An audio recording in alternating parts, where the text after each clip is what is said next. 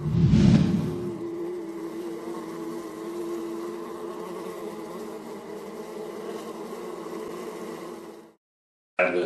President of ePest Solutions. This morning I'd like to talk to you a little bit about Demon Max.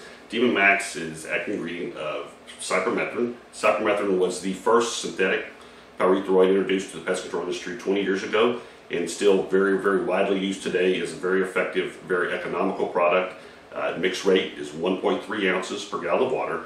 Uh, it can be used as a perimeter spray, can be used inside, and again, very effective on a very wide range of insects from roaches, ants, fleas, ticks, mosquitoes.